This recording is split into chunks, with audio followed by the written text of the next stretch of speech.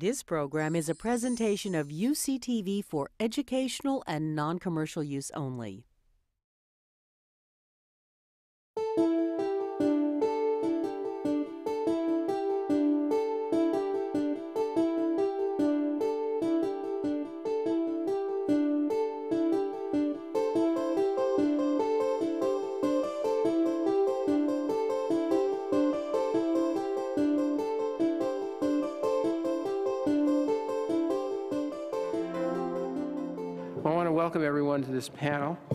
On Veterans in American Society. It follows up uh, on the uh, wonderful Jefferson Memorial Lecture for 2010 that was given yesterday by President James Wright, President Emeritus of Dartmouth, and a, a uh, distinguished historian who spoke on veterans and the history of American Democratic Society and raised many important questions uh, about uh, the role of veterans in society, the ways in which veterans have been treated uh, after the wars historically uh, in America, and in particular gave attention near the end to the differences that are so obvious and so important, but which have not really been explored in depth uh, by, as between the reception of veterans after the Vietnam War and combat veterans of the present uh, conflicts in Iraq Afga- and Afghanistan.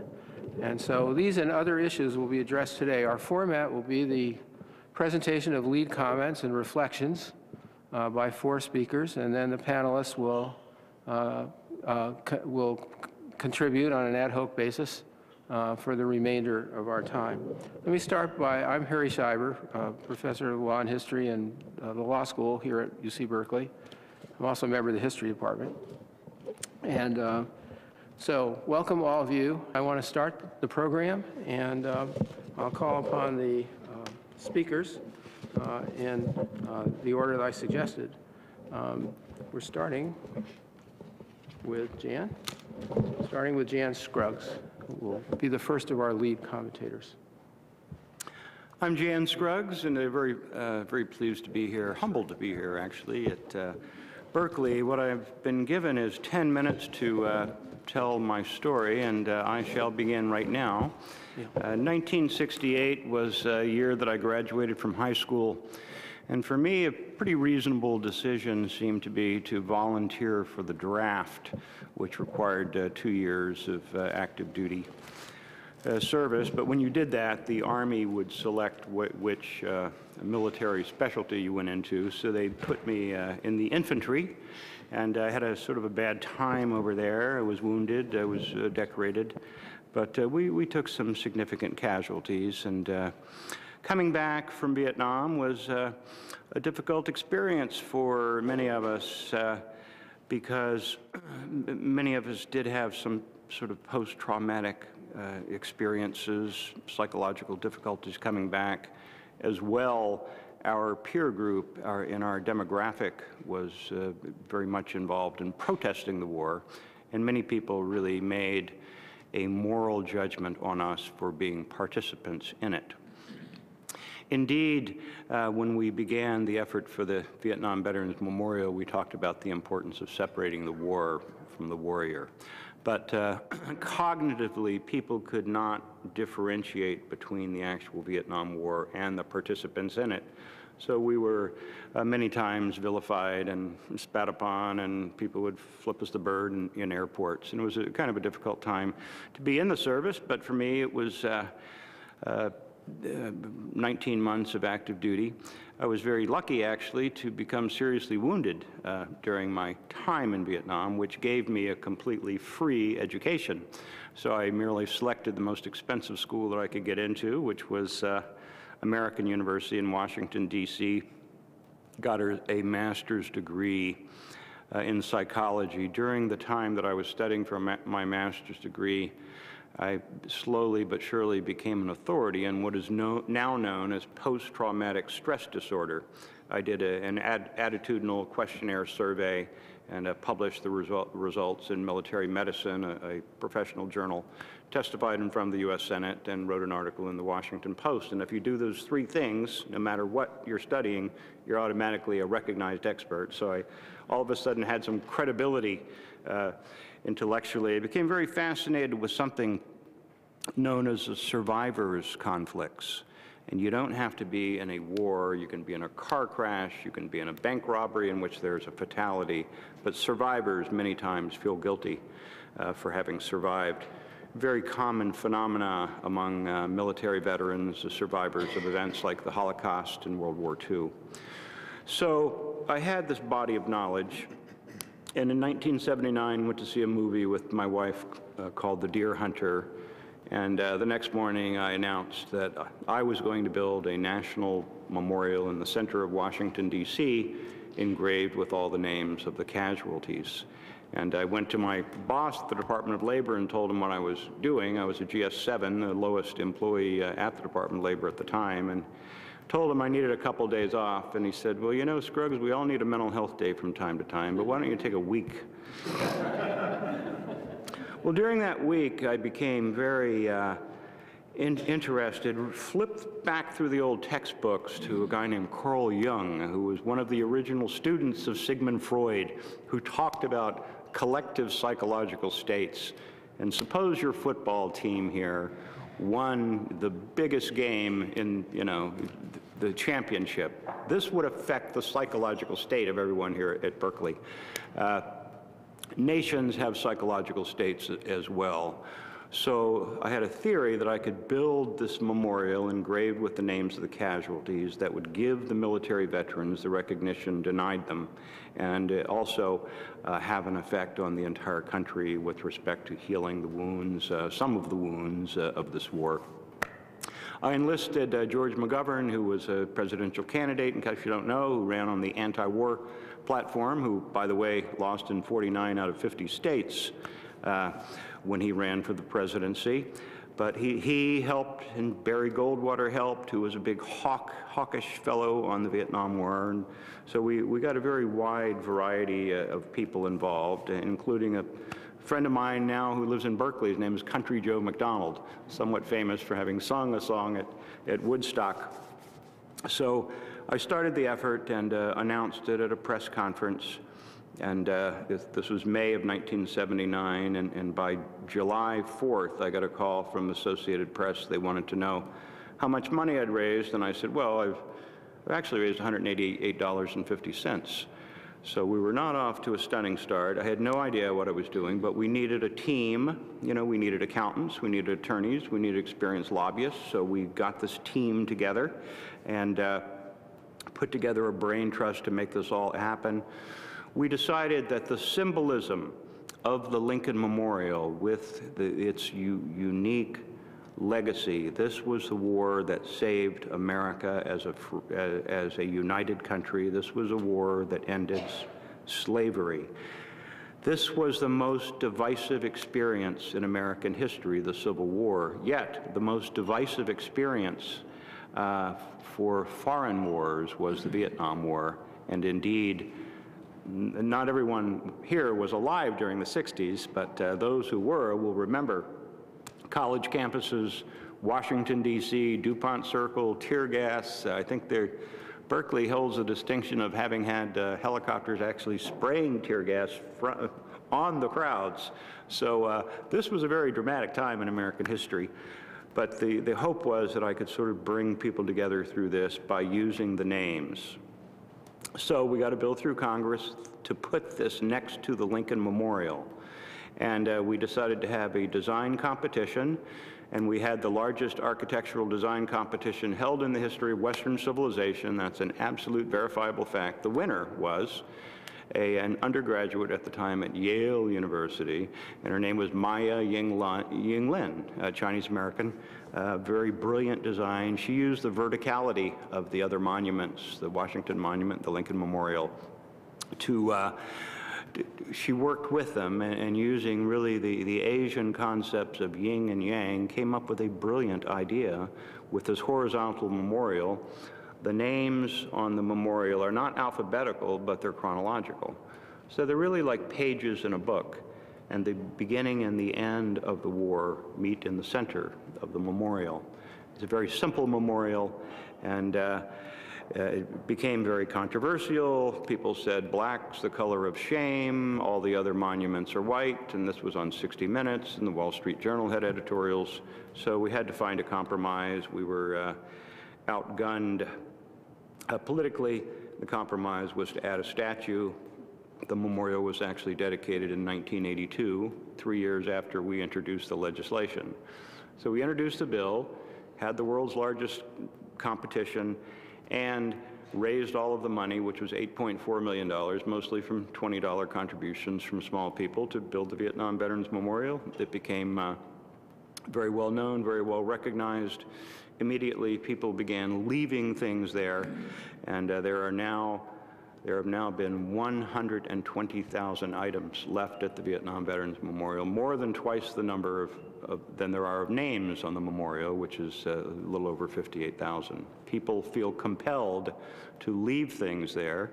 It's been studied by sociologists and psychiatrists and so forth. There's no precedent for it, but people keep doing it. So what uh, we're doing now is that we're going to build an, an underground uh, educational center across the street from the Vietnam Veterans Memorial. This will show some of these great items that have been left there. Uh, it will teach uh, people about more about the casualties of Vietnam. We'll have their photos there, which will change every day, and uh, it will be a very profound uh, and positive educational experience for those who come to visit it one day. Uh, it will teach about the the experience and the values of, of courage and honor and uh, duty that have uh, motivated our service people since uh, the days of uh, Lexington and Concord in 1775. Now, the other thing, I just returned from Vietnam, uh, and this is uh, a lovely country. I, I, hope that anyone who has an opportunity to go there as a tourist uh, does, does that. We have a program in Vietnam, which is now nine years old, in which we actually remove uh, unexploded ordnance uh, from that country. We have removed uh, thousands of pieces. We blow them up in place, the small pieces. The other ones, we have people who defuse them.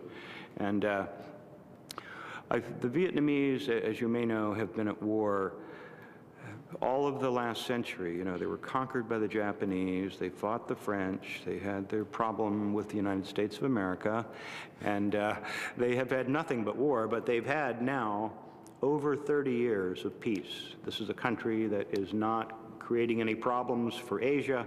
Uh, they're not exporting weapons, they're not making nuclear bombs or anything like that. And it's a great pleasure and honor as a veteran to uh, give something back uh, to them. And we've removed a lot of ordnance and people who've been hurt uh, from it.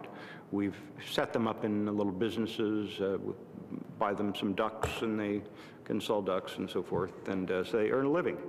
So that is the end of my tale, and I'm good at doing things in exactly 10 minutes. If someone says 10 minutes, I, I, I, will do it in 10 minutes, and I've just completed it. Thank you all very much. My final thought to each and every one of you is that if you, if you have some idea, no matter how big or small, uh, even if you don't know exactly what you're doing, uh, once you begin the process, uh, you can be uh, amazed what you can accomplish, whatever your cause is, battered women or, or, or, some international cause. Uh, don't be afraid to take the initiative. That's what leadership's all about. Thank you. Thank you very much. I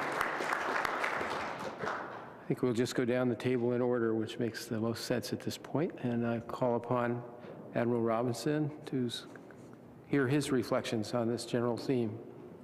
Thank you very much. I'm, I'm both awed and honored to be with this extraordinary panel, um, despite the fact that I had no connection to Dartmouth.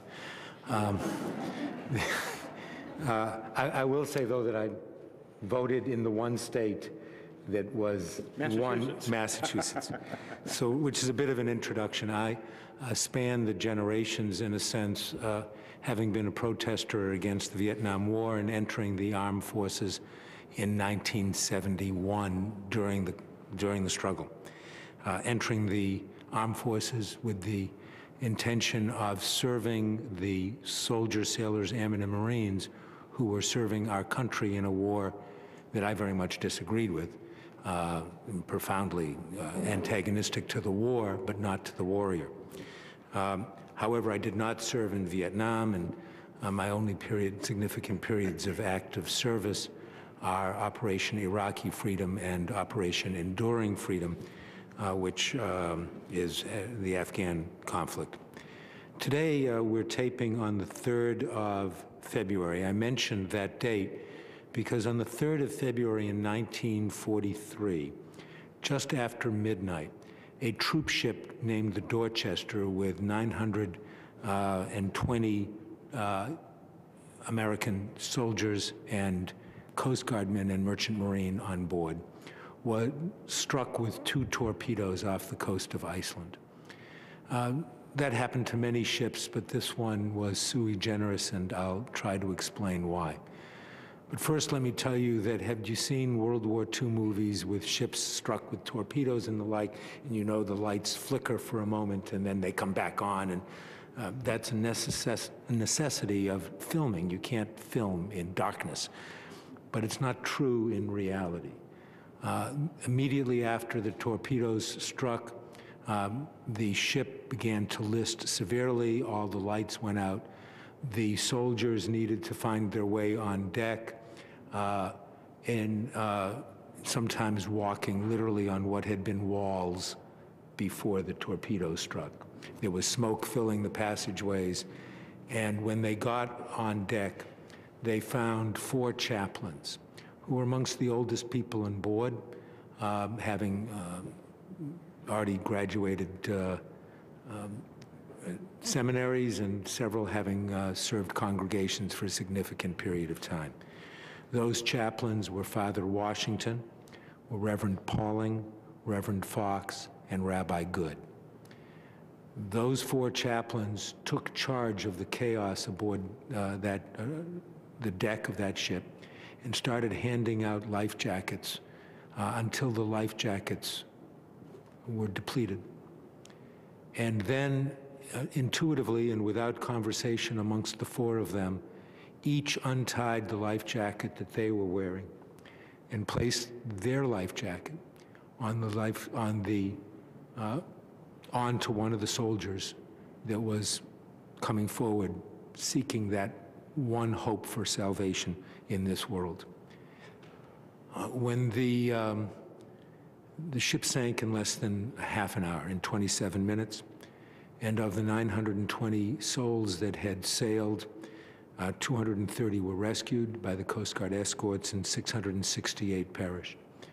230 of those individuals testified to the unique gift of that, of those two Protestant chaplains, the Catholic chaplain and the rabbi. And that story in February of 1943 became a powerful part of American mythology. And I don't mean mythology in the sense of inaccuracy, but rather in the sense of the story, that we, the foundational stories we tell about ourselves. It helped America understand itself as a country of at least religious diversity. And that's part of what the World War II experience was writ large, where you had uh, young men, almost entirely men, uh, less than 5% of the American armed forces were made up of women, 4.4%. But young men from Brooklyn and Berkeley and Biloxi and, um, and Butte, Montana, all serving together, not just for a few months, uh, but for years and getting to know each other. And the war um, mobilized 16.1 million U.S. Um, military members out of a cadre, the male cadre available for draft from the age of 18 to, uh, to 39 was just under 20 million. So 16 million out of 20 million, an entire generation. I mean, of the remaining 4 million, some were incapable of serving for a variety of reasons. Um, so that in, nearly that entire generation of men, and in those days it was in America about men, um, served and became unified and, and had a sense of identity as Americans that hadn't existed before. Part of that was a religious identity that described America in the paradigm of Protestant, Catholic, and Jew. Another event that um, that came out of that war was, of course, uh, the capture of Iwo Jima. Uh, the raising of the flag became iconic. The uh, flag was raised on the 23rd of February. On the 26th of March, when the battle was just concluded, uh, the uh, cemetery on Iwo Jima was dedicated, and a rabbi, Roland Gittelsohn, uh, preached the following dedicatory address, which was carried across the country in the newspapers of this land at a time when people still read newspapers. Um, and I'm going to quote one paragraph of, of his dedicatory address. We dedicate ourselves first to live together in peace, the way they fought and are buried in this war together. Here lie men who loved America because their ancestors generations ago helped in her founding, and other men who loved her with equal passion because they themselves or their own fathers escaped from oppression to her blessed shores. Here lie officers and men, Negroes and whites, rich men and poor, together. Here no man prefers another because of his faith, nor despises him because of his color. Here there are no quotas of how many from each group are admitted or allowed. Among these men, there is no discrimination, no prejudice, no hatred. Theirs is the highest and purest democracy. He goes on to speak um, of uh, do we, the living, now dedicate ourselves to the rights of Protestants, Catholics, and Jews, of white men and Negroes alike, to enjoy the democracy for which all of them here have paid the price. This was a war that redefined the American paradigm. And I can suggest to you, but not prove, that the civil rights movement of the second half of the 20th century and the uh, availability of higher education uh, through the uh, GI Bill, as, as was described by Dr. Wright last night, are all a product of this war. Not so Vietnam. Vietnam was a war that didn't unite and the United States, but rather divided it. And those divisions continue.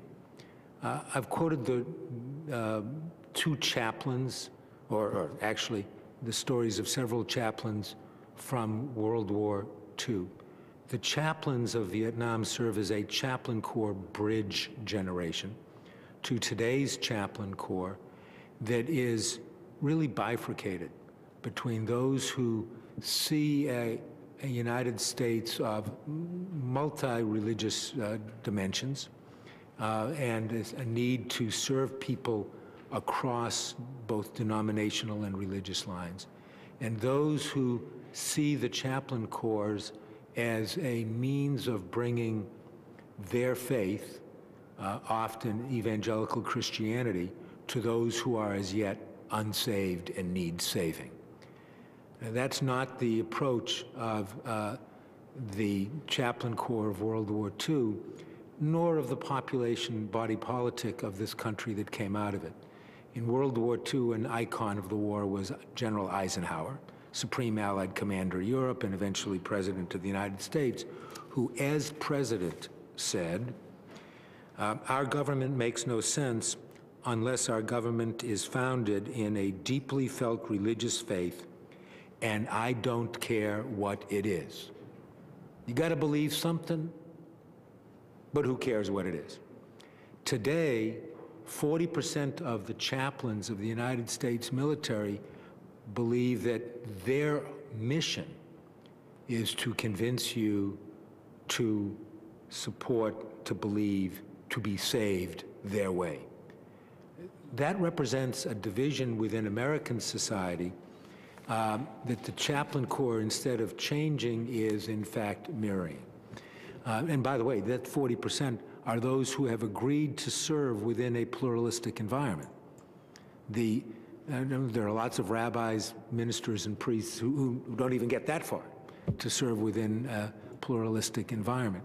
So um, one example of that, of the current era, is a chaplain now um, removed from the military. I say removed because it was a disciplinary matter, um, called uh, Lieutenant uh, Gordon Klingenschmitt, who goes around telling people that Christians in the military are not allowed to pray in Jesus' name uh, because he was not allowed to pray at public command settings in Jesus' name. Um, I will tell you that having um, opened the uh, Senate in prayer, the United States Senate in prayer, they give you a set of rules.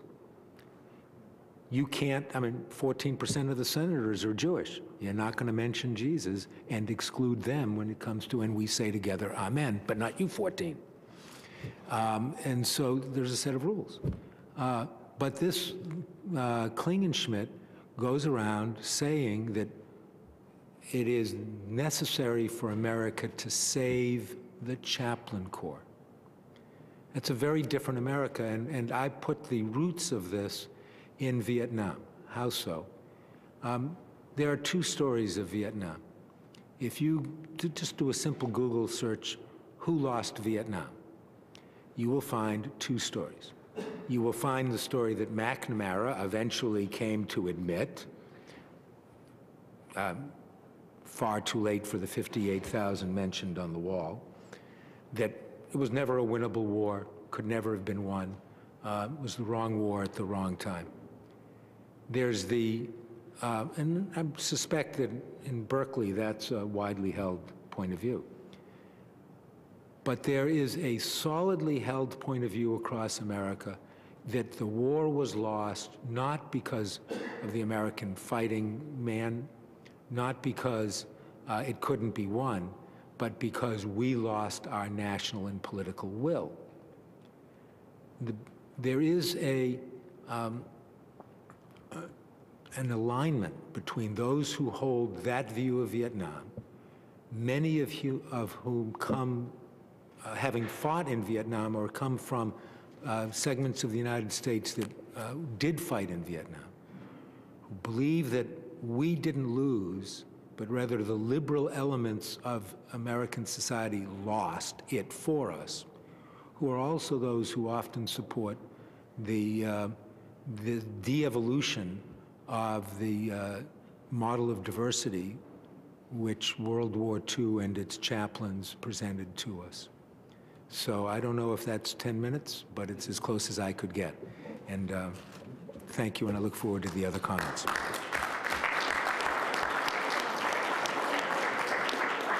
Thank you very much. It's uh, appropriate, given the end of the Admiral's remarks with respect to the longer-term effects of the war and the society's response to the war over time to our own day, that our next speaker should be Professor Richard Abrams, who has written on the 1960s and perhaps will help to give, give us a further historic context. Professor Abrams.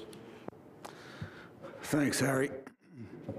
And thanks for all those comments. I, um, when Harry asked me to participate here about, on, a, on a program of uh, veterans' experience in American society, I said, Harry, I don't know anything about the veterans' experience in American society.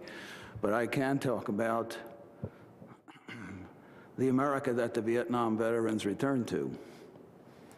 Uh, and that's what I'll, I, I, will, I will attempt to do. And uh, since I'm not a veteran, I'm probably among very few here who maybe who is not, not a veteran. I don't have any anecdotes.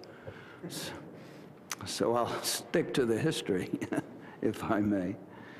Now, except for the Civil War, as Admiral Robinson has just said, the Vietnam War was the most devastating calamity in United States history. Uh, the, physical, the physical costs alone, of course, were awful. Uh, as you've heard a few times, more than 55,000 Americans were killed, more than 120,000 suffered injuries requiring hospitalization and rehabilitation. Measured by American casualties in uh, other U.S. wars, it was only the fourth worst war, uh, although it was the nation's longest war, at least until now. The Civil War and the two World Wars killed more, and they were all shorter wars, but the relatively few American casualties in itself owed in part from one of the most destructive and divisive features of the war, namely the reliance on airborne weapons, including B-52 bombers flying from Guam, thousands of miles away, and dropping bombs from nearly seven miles up. So there could be no expectation of confining the devastation to military targets. And unlike in World War II, when Americans were far less divided over the justification of U.S. military action, television and massive news coverage on the ground in Vietnam and Cambodia brought it all into Americans' living rooms in graphic color. The disregard for horrendous so-called collateral damage seemed epitomized in the spraying of many thousands of acres with sometimes deadly chemical defoliants such as Agent Orange in order to expose targets in the jungle areas. Now, such policies brought to mind the deathless comment by one U.S. officer following the destruction of the South Vietnam village of Ben Tre. It sometimes, he said, it sometimes becomes necessary to destroy a city in order to save it. Well, the tactics kept U.S. casualties relatively low while maximizing casualties on the ground, inevitably including hundreds of thousands of civilians. Now, this is to highlight the outstanding cost of the war for Americans, the conspicuous callous brutality with which the United States came to wage, wage the war, confounded the humanitarian ideals for which American democracy was supposed to stand. It would sharply divide intellectuals and political leaders. Some chose to stick with their commitment to use American power to resist totalitarianism worldwide, Others could not face responsibility for the inhumane devastation. And so George Kennan at one point testified in the Senate, and I'm quoting him, any rooting out of the Viet Cong could be achieved, if at all, only at the cost of a degree of damage to civilian life and civilian suffering generally, for which I should not like to see this country responsible, end quote. As our government pursued the war with exactly the consequences Kennan feared, Norman Podhoretz, a fervent support, supporter of the war and later a bitter critic of anti-war liberals, he himself felt compelled to write, and I'm quoting him, as one who has never believed that anything good would ever come from an unambiguous American defeat, I now find myself unhappily moving to the side of those who would prefer just such an American defeat rather than a so-called Vietnamization of the war, which calls for the indefinite and unlimited bombardment by American pilots in American planes in that already devastated region, end quote. After reviewing dozens of researchers' accounts of the war, the veteran journalist Neil Sheehan would write in 1973, and I'm quoting him, if you credit as factual only a fraction of the information assembled here about what happened in Vietnam. And if you apply the laws of war to American conduct there, then the leaders of the United States for the past six years at least, including President Nixon, may well be guilty of war crimes, end quote.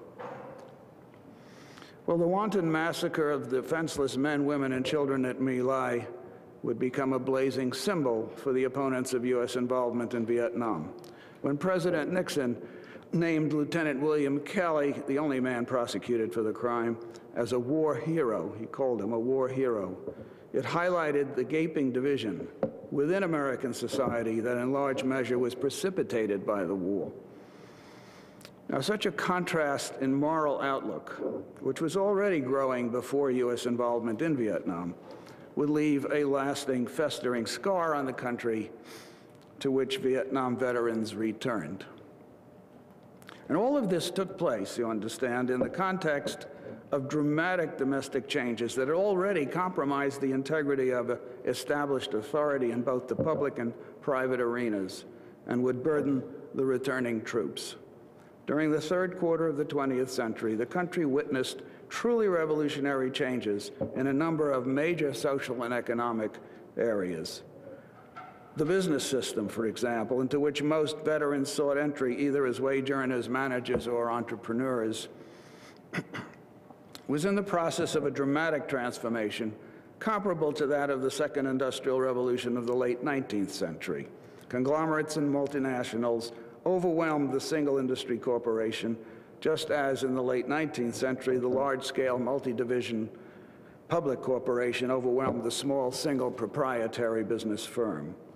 Now, more than that, the financial deals, financial deals came to surpass production of goods and services as the primary business of American business. The contemporary expression, greed is good, maybe 40% hyperbola, was almost certainly a 60% accurate characterization of the new business culture into which American veterans returned. Meanwhile, the civil rights movement highlighted Americans' traditional hypocrisy regarding social equality, just as the broad challenges to sexual conventions and the feminist challenge to ascribe gender rules mocked authoritative wisdom about propriety and decorum. At the same time, the emerging consumer protection, uh, uh, protection movement revealed epidemic dishonesty in advertising, packaging, lending, and sales at the same time, the insurgent environmental movement brought to light the poisonous pollution of air, soil, and water by powerful business interests that were heedless of the injuries that they were inflicting on fellow human beings. Now, that such things had been permitted to happen eroded confidence in the authority of government, business, and, and tradition, at least for educated Americans who are actively concerned about those issues. On the obverse side, it was not possible to overlook the rising anger among traditionalists throughout the country that was directed at the federal government over judicial decisions that mandated school busing, that appeared to be too soft on crime and criminals, that challenged local customs of piety by banning officially sanctioned prayer in public schools, and that added costs to doing business by requiring record keeping to avoid or defend against suits over racial, gender, and disability discrimination. There was, in other words, a grassroots rebellion rising from the main, main streets and the elm streets of the country against the so-called elite that many Americans, probably most of them, held responsible for the erosion of a traditionalist social order in which they had felt comfortable. Now, all of this reached a crash point by 1973 when OPEC's oil embargo led to soaring gasoline shortages and prices, and most important, calling attention to the decline of American hegemonic power internationally. Long lines of irate American drivers waiting at gas stations to fill their tanks before supplies ran out signified graphically the end of affluence and the return to an economy of scarcity. That decline had already been marked by the devaluation of the dollar two years earlier, followed by uneven and mostly sluggish growth for the rest of the 1970s and indeed for the rest of the century and beyond. For the final 30 years of the 20th century, American economic growth, which had, been which had underwritten the unparalleled post-war affluence of the previous 30 years, slowed to a crawl. When the mostly male veterans returned home and entered the job market. They faced unprecedented competitive uh, competition, both from fellow Americans and from abroad. First of all, it was in the 70s that the bulk of the baby boomers came onto the job market. but not only did the job market become crowded with the flood of the usual competitors, by then women and minorities had been added to the masses of those seeking employment in fields traditionally reserved for white males. At the same time, American producers, especially in manufacturing, faced vigorous competition from the newly revived and, and develop, developing manufacturing sectors of Western Europe and Japan. So, is it any wonder that much of American society turned sour? This is the environment into which the veterans returned. And as the society turned sour, so did American politics. The rise and the fall of Richard Nixon sig- signaled the ascendancy of a politics of trickery and demagoguery that would become embellished and magnified by later administrations. Repeated and deliberate abuse, deliberate abuse of facts and outright dishonesty by political leaders and even business executives became a common strategy. Noting the success of the strategy, one conservative political commentator gleefully labeled it, and I quote him, "the power of the outrageous." The power of the outrageous. We're still living with that legacy and with the apt motto of the 1970s, looking out for number one. The Vietnam veterans were the last of the citizen soldiers, conscripted by their country to put their lives on the line in times of need, a need defined by political leaders. There were no victory parades for them when they returned home because there was no victory. Small-minded enthusiasts among some anti-war militants vilified them, confusing their duty-bound service with the misbegotten politics that directed them. As President Wright noted yesterday in his wonderful talk, that confusion underlay the failure of the anti-war movement to link up with the mostly blue-collar draftees who suffered the consequences of their forced service in a misbegotten war. Thereafter, in a sharp break from American history and tradition, the country would depend on those who chose to offer their service. We should be grateful to them for their choice. We should also be a bit wary. The fathers, so-called fathers of our country, long ago cautioned against the establishment of a large professional military. And so I'll leave you with that thought. Thank you very much. So reflect on this uh, very interesting recapitulation of our history since the Vietnam War and some of the things that have, um, that relate to the topics that President Wright opened yesterday with his interesting talk. Also have to reflect on the gains of the civil rights movement, the achievements of affirmative action, the flourishing of the American Research University during this period, the enormous expansion of access to our colleges and universities, and one has to ask whether the experience of the Vietnam War and the disillusionment with some of the country's failures might not have had positive results as well, but leave that to other speakers. Um, our next, um, I do some work myself on Japanese law and society, and I've always found from, since I was first introduced to his work by a great Japanese scholar whom I had the privilege of collaborating with, that the work of T.J. Pempel is some of the most important that has been done on uh, politics, society, and public policy and administration in Japan. And uh, Professor Pempel's interests have broadened, and he works today on two topics that certainly are directly relevant to many of the remarks that have been made or will relate to President Wright's address on two of his fields in, of interest today are U.S. foreign policy and Asian, Asian realism. Uh, sorry, Asian, region, Asian realism, excuse me. Um, topics that also relate very directly, I think, to the Vietnam experience. Uh, Professor Pempel, as I said, is also a veteran of that period.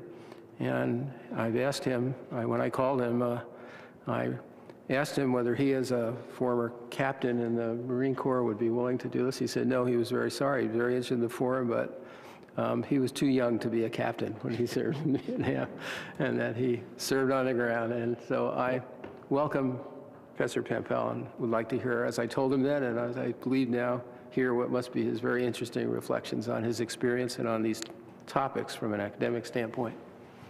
Thank you very much. And again, it's my pleasure to be with such a distinguished group. Uh, my comments really are going to be much more from the ground up, uh, at the risk of being uh, unduly biographical or autobiographical. But uh, like President Wright, I joined the Marine Corps at the age of 17.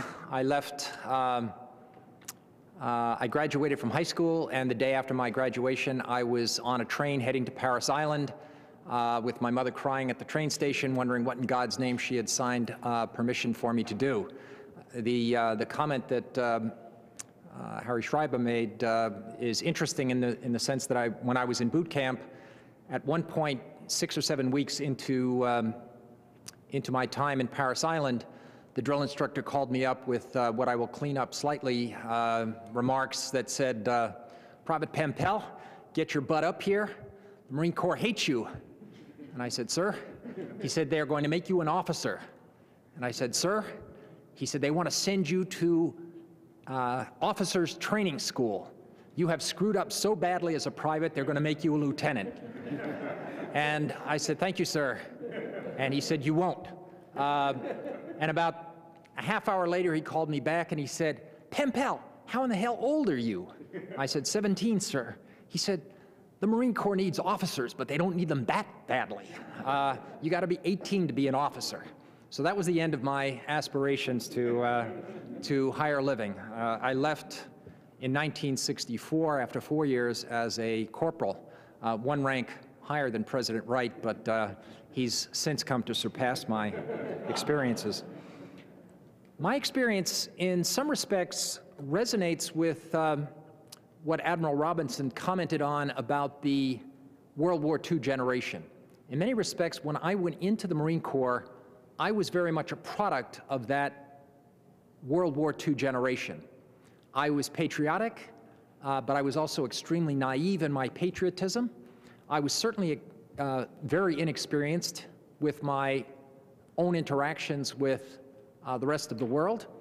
And I was quite stunned as we headed south to find that when we hit the first uh, rest stop, lunch stop south of the Mason-Dixon line, the seven black guys who were in our potential platoon were herded off in one direction for lunch, and the remaining 40 some odd of us who were white ate in a different place.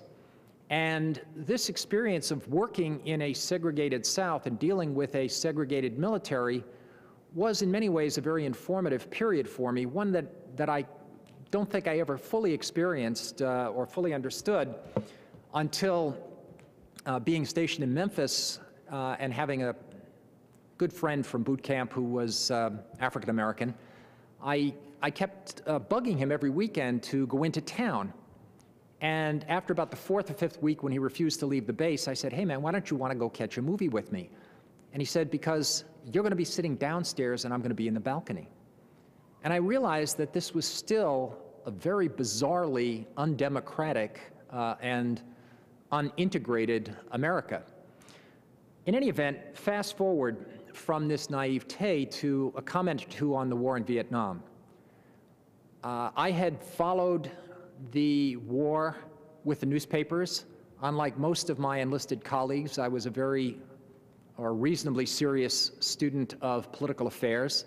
I listened to the speeches of Jack Kennedy, um, uh, Robert McNamara, Lyndon Johnson, uh, and was firmly convinced that this was a war that was worth fighting and that deserved to be won by America because it would prevent Vietnam from going communist. We were supporting our allies there.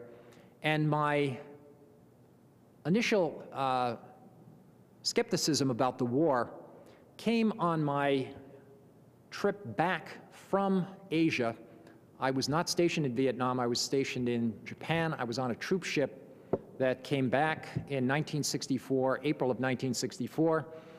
And I was with a number of guys who had been in Okinawa, Marines who had in fact served in Vietnam.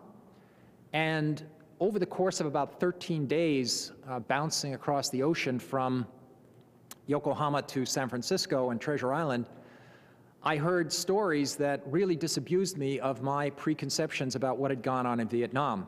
I remember saying to a couple of guys something about nobody in no, none of the American uh, military are involved in combat and being met with wide guffaws from uh, the guys that I was with. And they said, yeah, right, uh, we all volunteer. Uh, a captain comes rushing in or a sergeant comes rushing in and says, there's a plane down, we need 10 volunteers. And a platoon would immediately jump on a helicopter, we'd go in and shoot up the local village and rescue the captain and then bring him back. But the most telling experience I had was talking to a guy who'd been a tail gunner on a, a Marine Corps helicopter. And he was telling me that his job was to ferry in the ARVN, the South Vietnamese military, to combat operations. The Americans were not then completely engaged in combat. And he said the ARVN tro- troops were under orders to face away from the helicopter.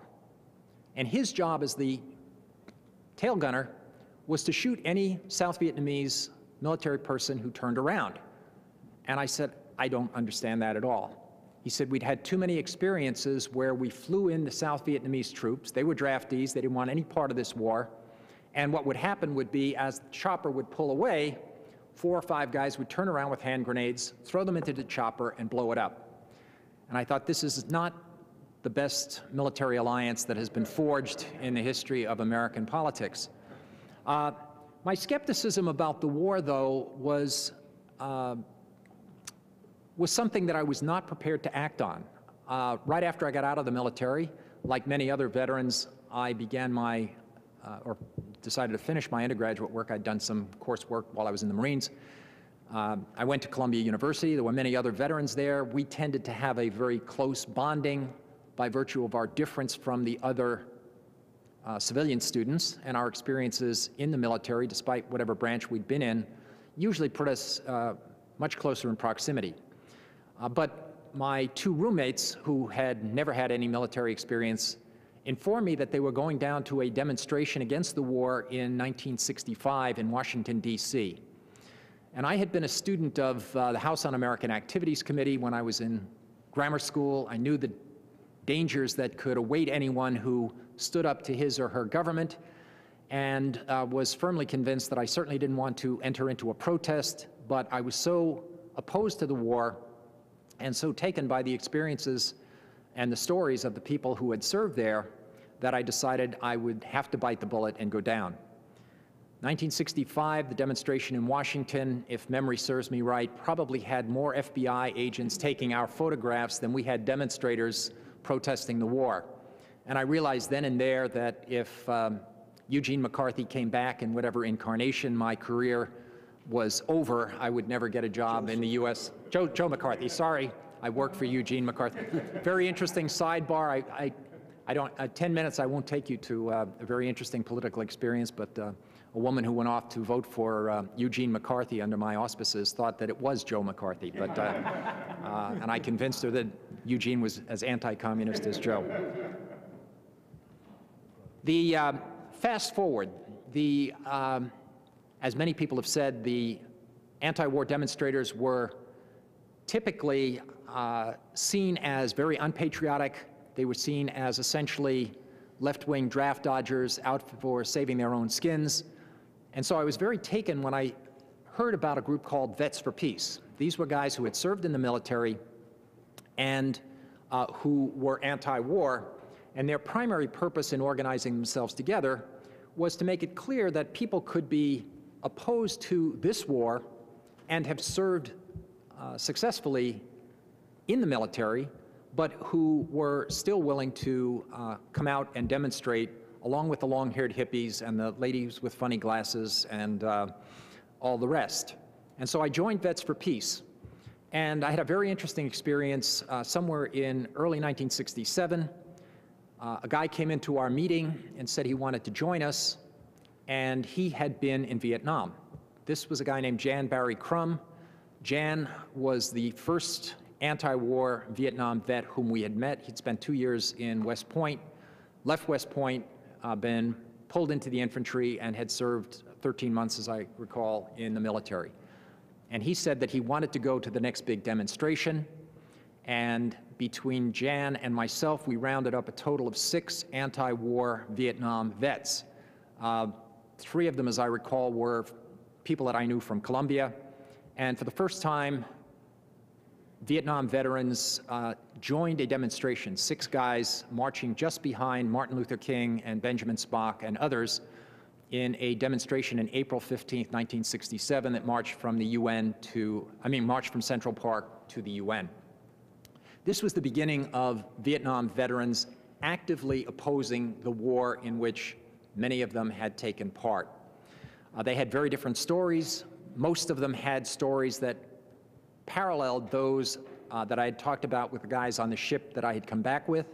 Uh, many of them had experienced uh, incidents of fragging of officers, uh, or had, in one way or another, come to conclude that this was a war that was essentially unwinnable and, from their standpoint, immoral. And uh, what was intriguing was, to me, was the fact that although they still came in for a great deal of the criticism from the pro-war or anti-anti-war demonstrators, for the most part, many of these guys could bond with others who had served in Vietnam. The common military experience transcended the ideological differences, and many of these guys were quite effective in communicating with other conservative ex-military guys about the war and either neutering or transforming their initial opposition to the demonstrations. This, it seems to me, laid the groundwork for what Jan Scruggs talked about, namely the growing activism on the part of many Vietnam vets in terms not only of opposition to the war, but also of attempting to increase and improve the benefits that were provided to the military uh, that had not been given adequate attention by the political machine that had sent them to Vietnam and that in many cases was responsible for them coming back uh, with damage of one sort or another. The last point that I guess I would want to make in this regard, though, is that in some respects I want to identify with Admiral Robinson's comments about the ways in which the Vietnam War and the experiences of both the veterans and the society at large really made uh, the Vietnam War a, an incident that created a fissure within the United States that in many ways has yet to be healed uh, the people who lined up on one side or the other of that war have, in many respects, never crossed the boundaries to the other side.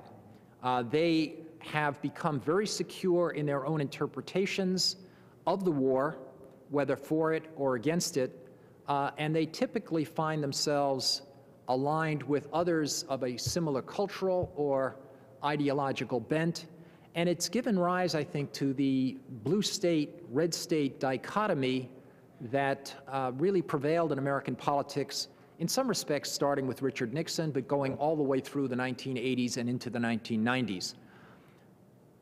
The uh, Vietnam vets uh, continue, to, continue to be quite active in trying to provide benefits for their fellow uh, military personnel and they've also reached out, it seems to me, to the veterans from Iraq and Afghanistan. But I do think the difference is there between the essentially civilian soldiers who served during Vietnam, most of whom ended after two years, three years, and went back to a civilian life, versus those for whom the military has become a much longer career and who, for better or worse, remain in many ways far more fundamentally isolated from the broader society and who, uh, in effect, allow this bifurcation to continue. So let me stop on that note, Terry. Thank you very much. Well, Before we open the panel, I want to, to open discussion, I want to ask President Wright if he would just comment at the outset, and we'll go on from there. I found uh, these uh, uh, comments, these introductory comments, uh, very, very uh, uh, helpful and provocative, and, and, I think the individual experiences underline the complexity of some of these issues. And, and, and my, as, as, I said, my focus yesterday was on the veterans of the war rather than of the war itself, but it, it's, ob it, it's obvious uh, obviously still, uh, all these years later, impossible to separate uh, the one for the other. I think that the Vietnam War was so sharply uh, divisive. Uh, I think that we have managed to accommodate uh, those divisions. I think that our society as a whole has managed to try to, to again reach out to the Vietnam veterans and has done that pretty well. i think that the scars remain. They're going to remain uh, for some time. But, but rather than my sort of repeat that again or try to summarize this, I would prefer to hear from some of my colleagues on the panel area. Well, Maybe thank we'll have you, something Jim. later. Um, one of, as a, a, a, taking the chairman's prerogative or the moderator's prerogative, one of the things that hasn't been mentioned is the impact on constitutional ideas and constitutional experience and legal experience during the war. There's so many challenges to individual rights and to challenges to, against the government. And among other experts, we have Professor Gordon Silverstein. So I'll respond to his. Well, I'll, I'll try and make uh, just a couple of points. Uh, First off, I think, you know, the, the, the anecdotal, it, it does become interesting. I, I'm, I'm the in-between uh, generation. I'm, I'm too young to have served in Vietnam, uh, but too old to have served uh, in Iraq. Uh, I was, you know, a child of the protest years, uh, and very much a part of that. My brother missed the draft by one year. He's three years older than I am, so I'm, I was within four years of the draft in Vietnam. Um, so, so that I think uh, is a different perspective, and and and I, I do want to go back. I'll, I want to go to the legal issue in a second, but the idea that that we we we really lack uh, a communal experience any longer. Uh, public schools are, are no longer cutting across uh, the demographics of the society. Military service, which was the great equalizer and the great, you know, the, the great Hollywood movies where you had one of everything getting together and talking to each other, and, and, and there was a good deal of truth to it. It wasn't quite as idealistic as, as Frank Sinatra would have you believe, but, uh, but it was pretty good. Uh, you know, jury duty uh, is about it, and, and anybody with a high school uh, diploma can probably get out of jury duty. Um, you know, go to the airport, and there's 17 different lines bifurcated by uh, income levels and, and, and, and talents. And uh, uh, baseball games, you go into your hermetically sealed box and you never actually interact with anybody else. There's really nothing left. And I think this, this goes to uh, what, what Professor Abrams was talking about as well. I mean, this is a, a part of the profound transformation of that, of that era. Um, on the legal front, uh, the Vietnam War was, uh, again, a huge breakpoint. Uh, the draft was challenged in the courts. In fact, it was getting extremely close. There were a couple of cases that made it to the uh, uh, appeals court level challenging the, the constitutionality of the draft in that war because it was an undeclared war and because it lacked a number of the other legal conditions. Uh, but the draft ended shortly before those cases were quite ripe for the Supreme Court, uh, so they didn't quite get there. Um, the protests against the war, uh, however, did get to the Supreme Court. Uh, and uh, this famous case of Tinker versus Des Moines out of Iowa. These, uh, and I, when I lecture on this, I put the pictures of these kids up, and they're they're right off of uh, of a 1920s, you know, perfect, ideal, blonde, blue-eyed, uh, well-scrubbed, neat kids, and and they they brought this huge case to the Supreme Court. And it was such a traumatic case that Hugo Black, the greatest defender of free speech America has ever known, uh, turned on free speech. Uh, he couldn't tolerate the, the protest against the war. He was getting on in years, and, and it was something that really broke him from his own uh, commitment to, to free speech. So there were a number of major uh, legal issues, of, and, and really this question about the constitutionality of a war, this was a, the first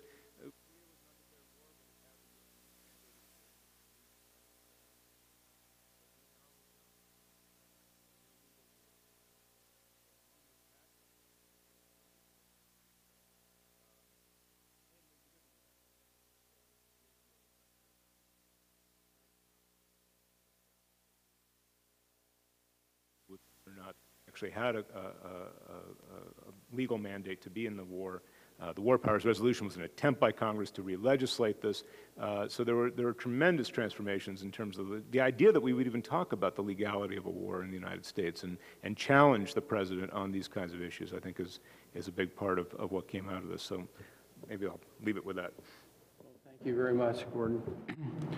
The, um, the uh, impact of World War II on individuals is something that came up in Jim's talk yesterday, and I, in Tom Brokaw's follow-up volume to The Greatest Generation, there was one passage where a veteran of Vietnam talks about his father's experience in World War II and how his father always looked, at, looked back at it as his great contribution as a citizen and how it shaped his life. And he said, I came back from Vietnam and I just felt it was for nothing.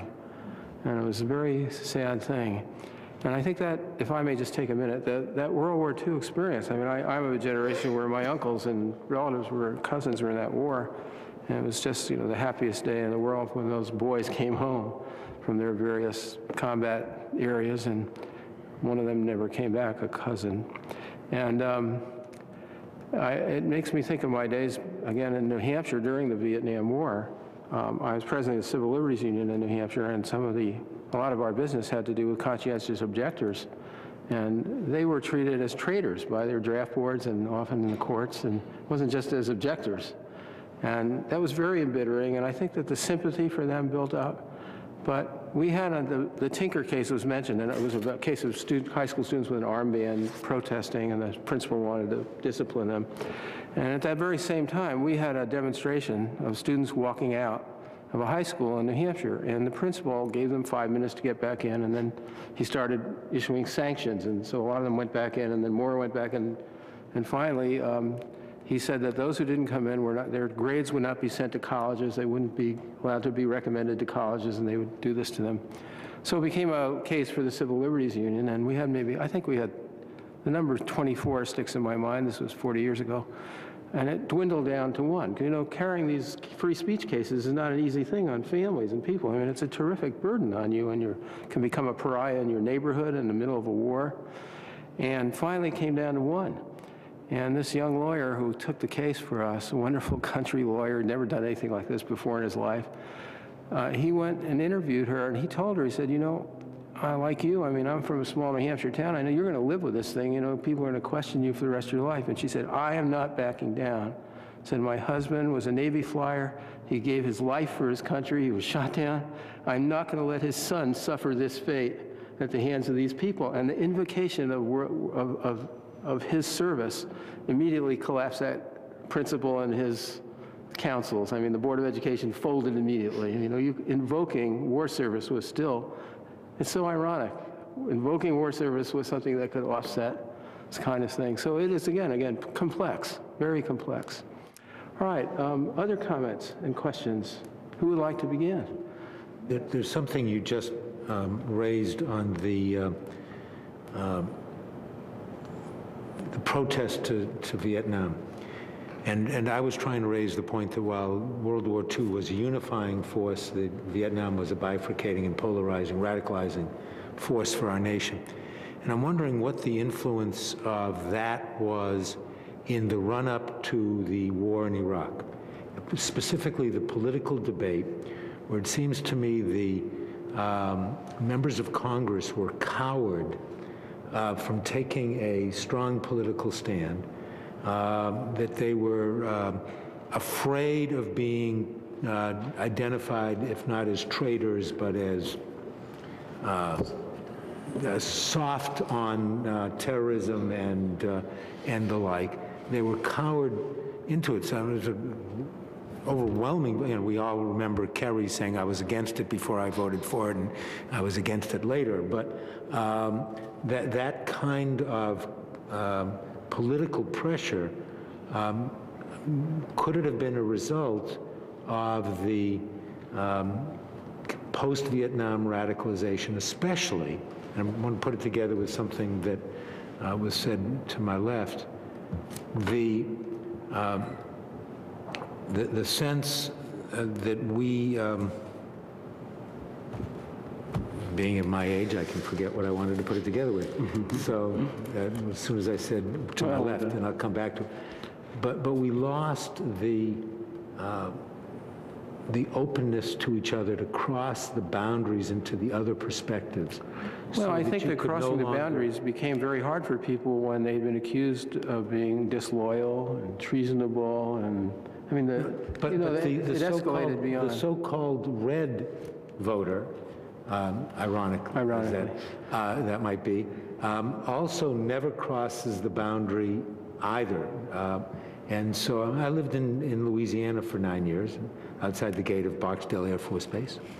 And um, it's amazing how there is so little empathy for the Vietnam protester even today. We've talked about Vietnam, and we have not just Vietnam veterans now, but as has been said, Afghan war, Afghanistan, and Iraqi war veterans. Maybe we can come back to this, but um, perhaps Colonel Chavez would like to speak. He, he has heavy responsibilities in our state government here in California for the interests and welfare of veterans, and I think his outlook on this as minister would be important. And I'd like to call one of the peoples in the active military now to comment on their perspective. Ahead. Yeah, I'd like, I'd like to approach this from uh, two perspectives um, and get a little bit off the Vietnam issue, but it'll indirectly reach it. Um, First of all, when I have the opportunity to go around the state and do a lot of different panels, And, uh, and as stated earlier, I was in politics for seven years. One of the um, obvious things when you look at a panel is that it kind of reflects the people that are being affected by, you know, wars, military. And this panel up here is basically consisted of white males. There's two of color and we have one female. In fact, I noticed that the audience actually has four females and four males, so they're, they're actually more diverse than we are. And uh, so, not to point a finger at it, but I want to give you a, uh, a little story about a his, Hispanic impact that the military has. Uh, my father was 17 of 18 children. Uh, 16 of them were born in Mexico. My father, my grandfather fought with Pancho Villa. My father worked in the fields, and when World War II started, he enlisted in the Marine Corps and fought with the 2nd Battalion, 2nd Marine, 2nd Division, and um, was at Tarawa, Tinian, Saipan, and in the latter phases of Okinawa. Uh, he worked in the steel mills at the end of the war, but because of the GI Bill, he was able to go to a community college. The, auto, the space industry kicked off in LA. And so as a little kid, I was brought up outside the US steel mills where the Okies and the wetbacks used to live together and uh, where it was common to have gangs and fights. And we moved from there to a suburb in Torrance, at which time I became a, a Cub Scout and played Little League but because of his experience in serving the country in the GI Bill and his ability to work in the aerospace industry, I was able to stay in one little community and rise up and become president of my class and state champion in sports, a lot of other things. The and, and, go to college. My son, as I mentioned earlier, I was joking around with you, he's, he's a graduate of UPenn Medical School, went to Davis, so my daughter went to Davis. And as I kid around with my son, I said, You're the American dream. You know, uh, your grandfather worked in the fields. I worked my way through college in the fields. And, uh, and now you're, you're out of UPenn. So it doesn't escape me when I'm at Camp Pendleton and I see so many hyphenated Hispanic names currently serving in the Corps. And it doesn't escape me that a very significant number of them are not even American citizens. And it doesn't escape me that just recently um, there was a, um, some people would call him an illegal, who gave his life for our country, whose mother was an illegal, who was living here, who the, uh, she became a citizen because she, otherwise she couldn't even go to the funeral and recognized by our country. So um, there are impacts that the military has on changing our society that we don't even recognize sometimes. I would submit to you if it wasn't for the GI Bill and the military and veterans, you probably wouldn't have Colonel Rocky Chavez, Undersecretary, sitting up here today if it wasn't for that. So I just throw that out there for all the things about the military and war. Uh, well, I'll, i just want to touch this, I got to do this because it's on TV and CDVA. The California Department of Veteran Affairs may hit, hit me on this one. When I'm hearing the, I want to talk more about the future. What role should our current veterans play in 2015? We know they had an impact. I gave an example of an impact that might happen after the veterans after World War II with my father. Um, I think that's something that we should really ponder because we know that because of the uh, weapons that are being used in Iraq and Afghanistan, they're having a new impact upon our veterans coming back.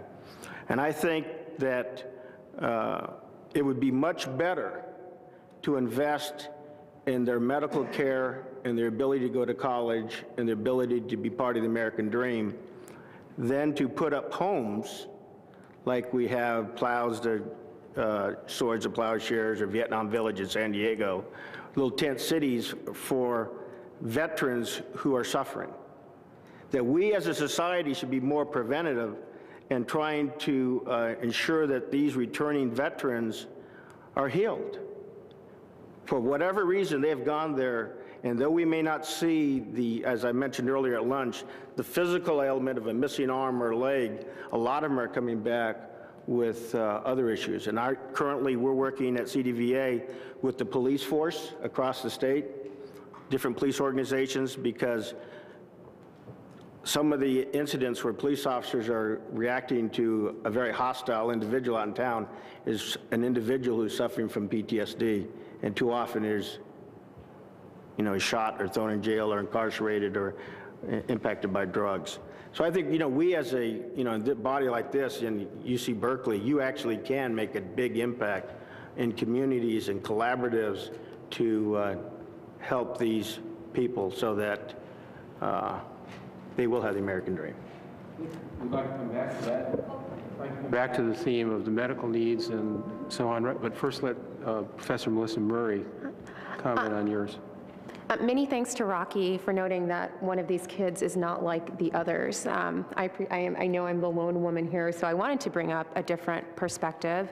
Um, Rocky noted that his father was a veteran and through his service attended college on the GI Bill, and I think that is the classic narrative around the GI Bill. I was hoping, however, perhaps to complicate it a little bit by not thinking so much as of what the, VI, the GI Bill did for veterans, but what it actually might have meant for non-veterans. And there's a sizable core um, of non-veterans, largely women, who were deeply disadvantaged by the GI Bill and its provisions. Um, you know, one of the the narratives that have sprung up around the GI Bill is that this is a way of honoring veteran service, and I think it certainly is that. But we ought not forget that when the GI Bill was created, it was very much a hedge against financial disaster.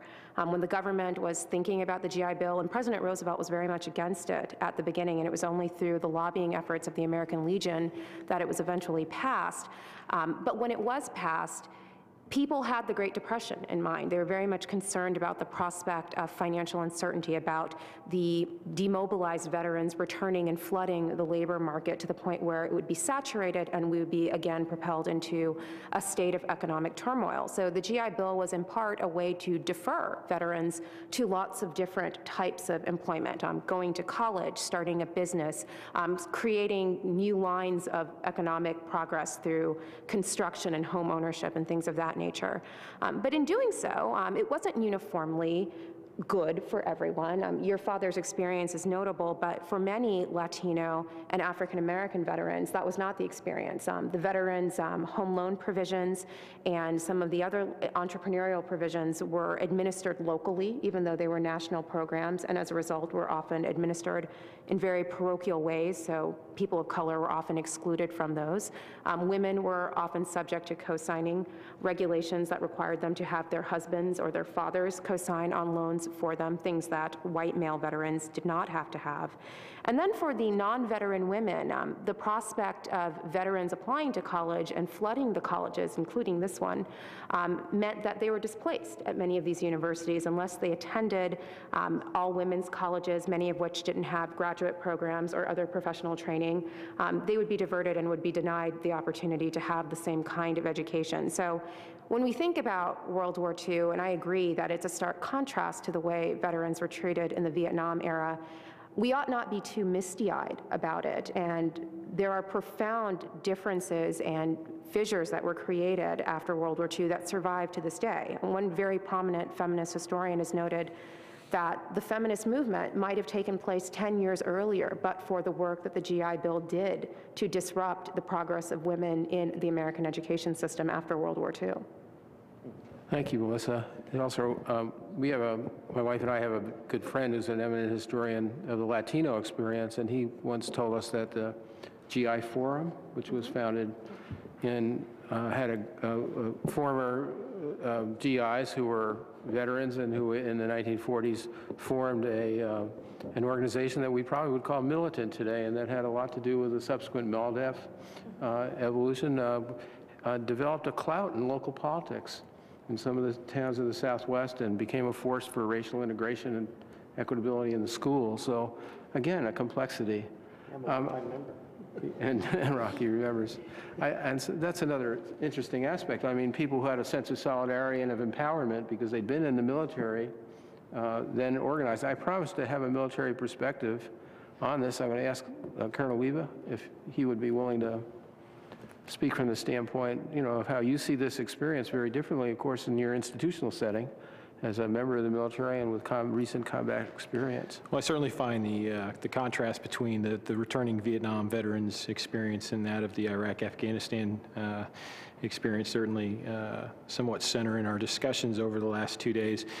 And I wonder if uh, some of that uh, obviously flows from the fact that uh, many that are in uh, positions of authority and power now are indeed of the Vietnam era and recognize that uh, certainly during the Vietnam era, it was probably uh, somewhat less common for the war and the warrior to be separated. Uh, and I think now there seems to be, uh, regardless of uh, perspective in terms of support for our ongoing conflicts, a differentiation now between the war and the warrior in a way that I think gives us an opportunity to um, recognize that service in ways that maybe uh, 20 or 30 years ago we, we might have had a, a challenge doing. I'm, I'm certainly interested in, in, in the panel's perspective on that thought and that notion. Thank you. Yes, Rabbi. Uh, Colonel, one of the distinctions is that the warrior is very different. In Vietnam, the warrior was, the average age of the American fighting in Vietnam was under the age of 20. Uh, you know from, you know, we know from the uh, military today that it's a much older military. Uh, the other, uh, and, and therefore a more um, invested military, that is, the, it was harder to notice the 17-year-old that had gone off to war in Vietnam as missing from society. They had never, they hadn't had a job at the plant, they hadn't had a job in town, they were, they'd never been part of the larger society. Uh, it's of note that today, almost 45 percent of the soldiers, sailors, airmen, and Marines, and Coast Guard men fighting in Iraq and in Afghanistan are either reserve or National Guard at any given moment. So these are people that are very much part of the larger body politic. They're, they tend to be much older than the, uh, than the career military. Um, and uh, the, these are people who are part and parcel of the larger society. They, uh, they have children in, in school and they are missing from the PTA or whatever goes for PTA nowadays. Uh, they don't show up to their uh, sons uh, or daughters' uh, athletic uh, contest, and, and everybody knows that they're not that they're not there. So the nature of the warrior as a part of society, as opposed to as distinct and separated from society, um, is, is different for this war. Thank Mr. you. Chairman, I'd like to point out that we have uh, five people on this panel who've not been given the opportunity to speak, I'm just- including a carrier pilot and nuclear scientist, so there must be more I'm- perspectives. I'm moving on immediately back to the question of PST, which was raised here by the, uh, Colonel Chavez earlier, and I'd like to ask Dr. Ash, Asher to comment. Yes. Um, They say that important events in your life uh, stick with you and you remember who was in the room and where you were at the time. New York Times, 1967, the Peace Corps is no longer a deferment from military service. I had signed up for the Peace Corps. My entire class of uh, Harvard Medical School graduates was drafted. It was the last year and only year that the entire class was drafted. Subsequently, there were no drafts. Um, I had a problem, which is that I was in a subspecialty which did not count for deferment. They did not recognize infectious disease as a subspecialty, so I had orders for Vietnam. So I said to them, what can I specialize in quickly to figure this out, get deferment? And they said, well, anesthesia, but that still goes to Vietnam. Uh, obstetrics, I said, no, it's not exactly right. Uh, research, I said, what? I said, is research a specialty? They said, you bet, but the problem is you have to go to a research institute in the United States. I said, well, I can deal with that. Thereby hangs the tale. Fast forward, 1991, I was the chair of disease control for the Armed Forces Epidemiologic Board when up jumped Gulf War syndrome right in our face. Now, interesting phenomenon of that uh, experience. Um, the clinical presentation of the so-called Gulf War syndrome, had characteristics that are not widely known. It was heavily re represented in the reserves. Number one symptom, which was removed from the symptom list because it was considered not a symptom, was anger. Fascinating. Now, if you put all this together, you came up with an interesting phenomenon, and it occurred at the Presidential Commission on Gulf War Syndrome in San Francisco, where they opened the forum to public testimony. And everyone that spoke was a reservist, and everyone spoke said the problem was when they came back here, they couldn't get any medical care for anything. And they were angry. So no matter what it was, we had a flaw in our system, which was that p- these people were not eligible. And that's an interesting problem. They went to war when the health care bill, then in progress, was being considered. They came back and they were dumped with no care. At that point, the rules changed because the Veterans Administration said, we will now declare anything related to people that are unhappy with their service in the Gulf War eligible for care. Now, this really did change the rules. That's never happened before. There was no disability determination, there were no rules. Uh, the problem was the Gulf War syndrome got a life of its own. But it did offer people a lot of care that they were not otherwise getting, and it did help socialize PTSD in our society, and I think was, was a great step forward.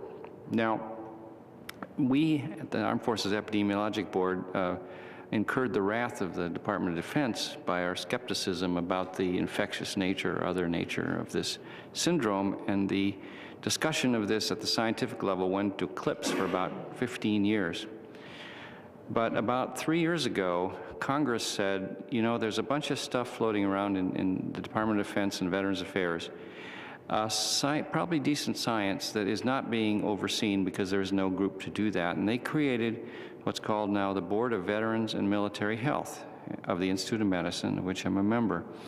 And we are charged with pulling together all the studies going all the way back to Ranch Hand and Agent Orange and absolutely everything to look at, at some of this. Now, the good news is we have the current situation on our agenda in spades. And just a little uh, uh, prediction here, and, and, President Wright mentioned something very interesting. Uh, every conflict has a signature syndrome or disease. The signature syndrome or disease of this current conflict is traumatic brain injury.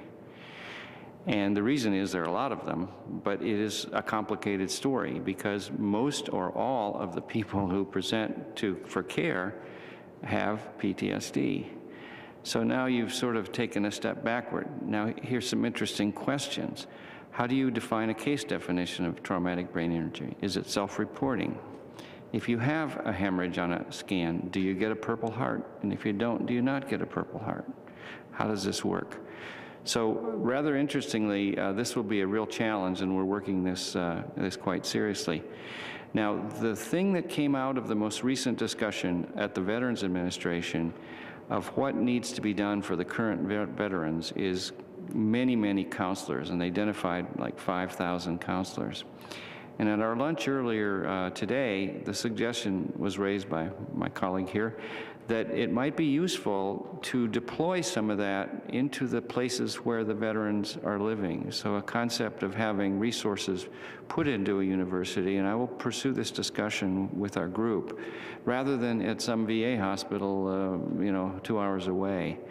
So I think there's, there's hope, and I think uh, things will come together. Uh, but uh, that's my experience. And if you remember the famous line from uh, MASH, where the nurse asked this doctor, "Why? How did a reverent uh, guy like you ever end up in the Ar Army Medical Corps?" He said, "I was drafted."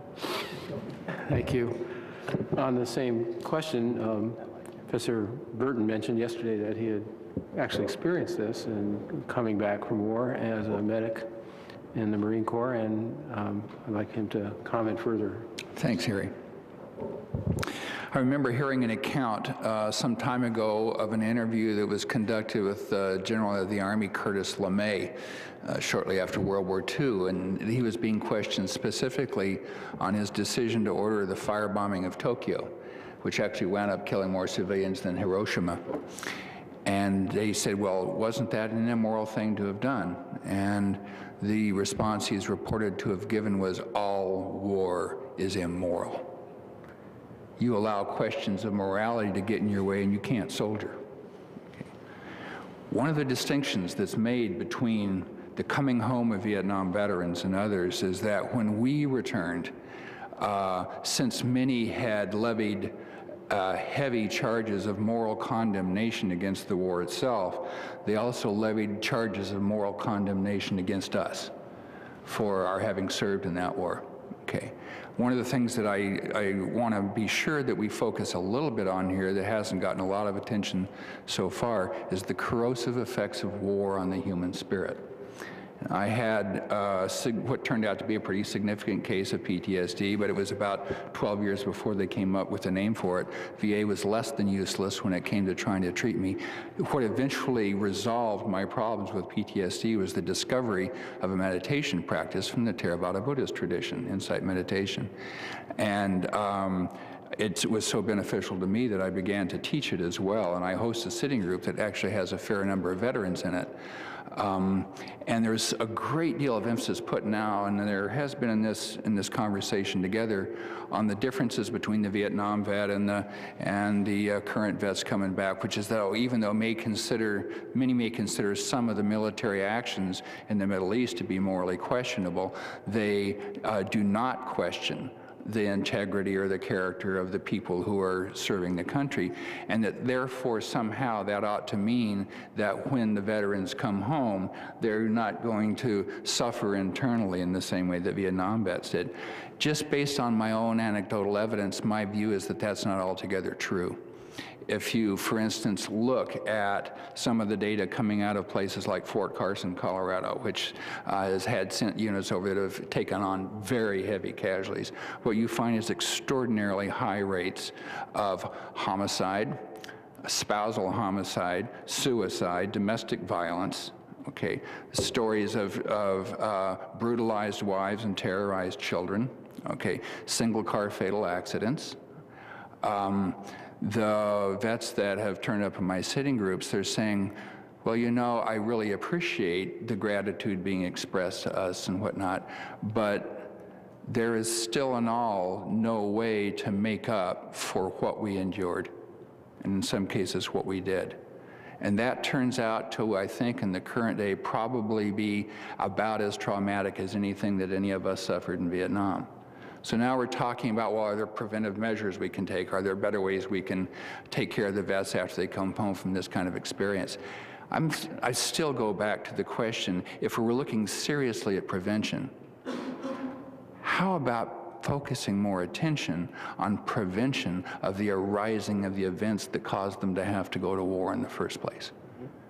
And somehow or other, when we have debates about whether or not we ought to fly off and start uh, messing with somebody's business somewhere else in the world, maybe there can be some effort made in the future in the way there has not been in the past to ensure that responsible veterans' voices are part of the debate over whether to go to war or not, rather than just how to clean up the mess after, the, after we get back.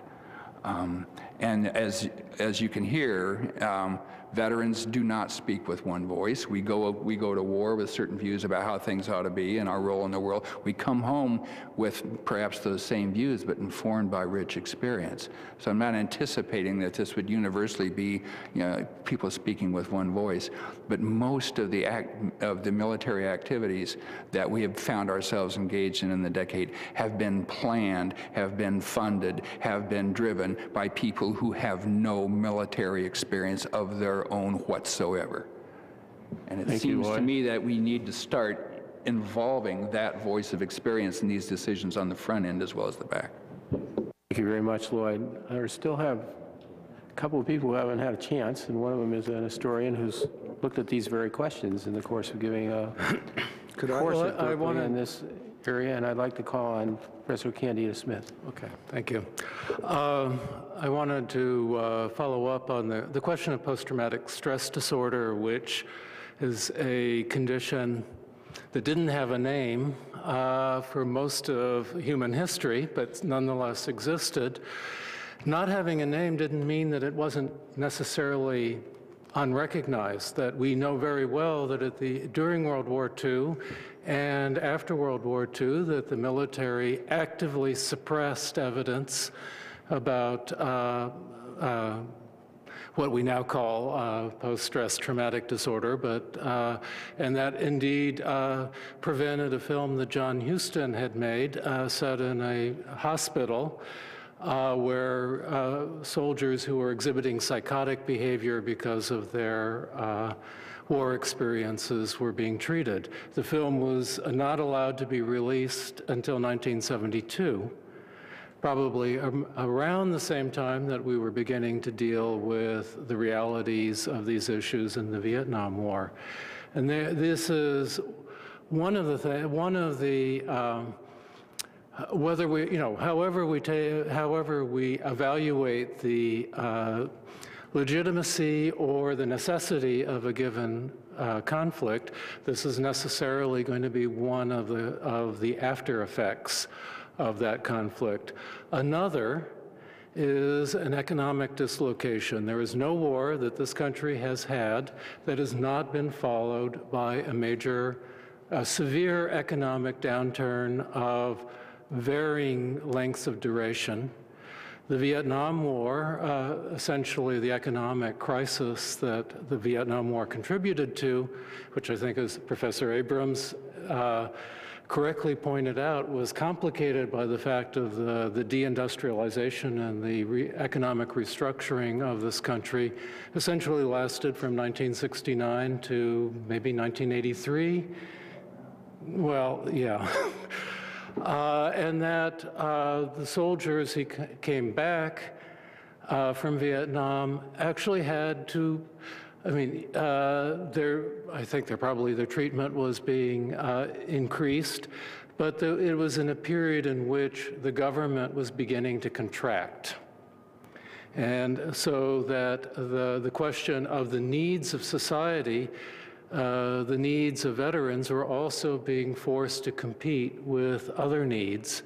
It seems to me this is something that uh, is only just beginning to happen now, that uh, the economic meltdown of uh, 2008 is something that's likely to last for a considerable period of time. And we're just beginning to grapple with the facts that the needs of returning veterans from the Afghan and Iraqi wars may be competing with uh, political desires to maintain tax cuts, with uh, competing demands for funding not just higher education, but K through 12 education, funding prisons, uh, that we, uh, we're beginning to face the fact that we can't uh, spend money like we have been. Uh, and this is going to have ultimately some kind of effect on what the returning veteran faces. I, I think the, the idea that war has economic costs was something that uh, our earlier political leaders were well aware of.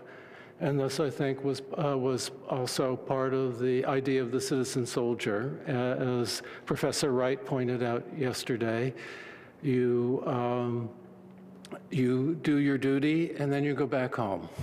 And we'll take care of you if you're in dire need. Otherwise, uh, you're, you know, you're the citizen farmer or the mechanic, uh, the citizen mechanic. Um, I wanted to talk a little bit about this distinction between uh, the Vietnam and Iraq War wars that Professor Wright pointed out. And I think, again, in the concept of not relitigating, as our president says, these, uh, the legitimacy of these issues, but to think about some of the distinctions that uh, create a climate in which people, to which people return home to.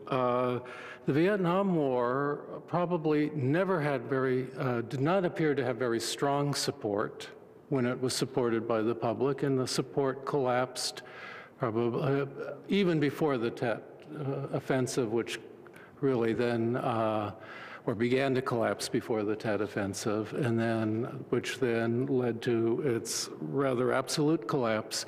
And this was, and support was not, uh, this lack of support was actually uni- uh, uh, across the political spectrum, which meant that uh, President Nixon, when he uh, took office and decided that he had to continue the war as part of his larger strategic vision of what to do with China and the Soviet Union, had to figure out how to maintain some kind of public support for his policies and a policy of active polarization of the public was pursued by the White House and by uh, the people supporting President Nixon. We, I, I think we have to avoid the idea of thinking that there was moral, simply moral revulsion against the war and those who might have been associated with it. It was also a political choice that was made by the leaders of this country at a particular time to uh, lay down the line and say, which side are you on? I think, uh,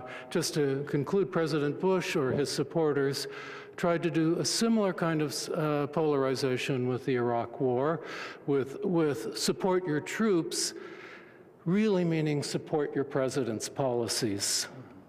But that didn't work for a variety of reasons. And so the polarization, which we see around the Vietnam War, continues to this day. It doesn't exist. Uh, it never was able to take, but not for lack of trying. Thank you very much, Richard. These are very interesting comments. We have two panelists, both of great learning and experience, who haven't spoken yet. I'd like to ask Todd Laporte, Professor Laporte, if he would comment. This has been a very interesting experience this last uh, afternoon and evening, and uh, as we listened to uh, President Wright's reflections and this today, and I've been sort of taking a different role, uh, and I, I'm found the faculty here. I've had numbers of undergraduates and graduate students uh, over the years, and I've been wondering about our responsibilities as a university and as a faculty, as the people who come to sit with us bring the experiences of Iraq and Afghanistan with them.